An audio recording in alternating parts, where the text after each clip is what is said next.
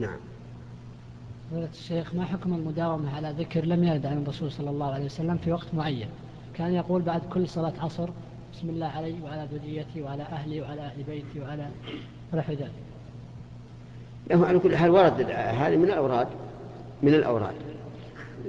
والأوراد المسائية تكون من بعد العصر ومن بعد الغروب.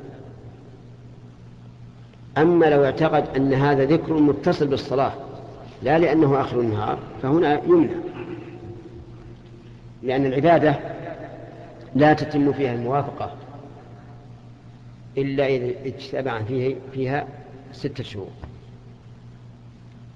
أن تكون موافقة للشريعة في السبع وفي الجنس وفي القدر وفي الهيئة وفي الزمان والمكان. إذا خالفت الشريعة في واحد من هذه فليس مشروع. لو أن الإنسان كلما دخل بيته صلى ركعتين.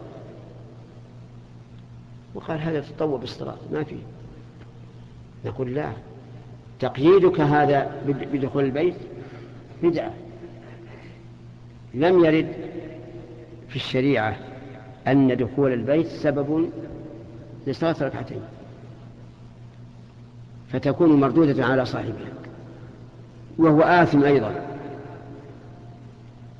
فهذا الذي قيد هذا الدعاء بصلاة العصر نسأل هل أنت قيدته تبعا للصلاة؟ أو لأنه وردك الذي تريد أن تقرأه في آخر النهار؟ إن قال إن هذه نيتي فليس عليه شيء. وإن قال الأول قلنا لا. إيه إذا كان هذا وردي أنا لا لأنها صلاة العصر لكن لأن آخر النهار. لا شيء عليه.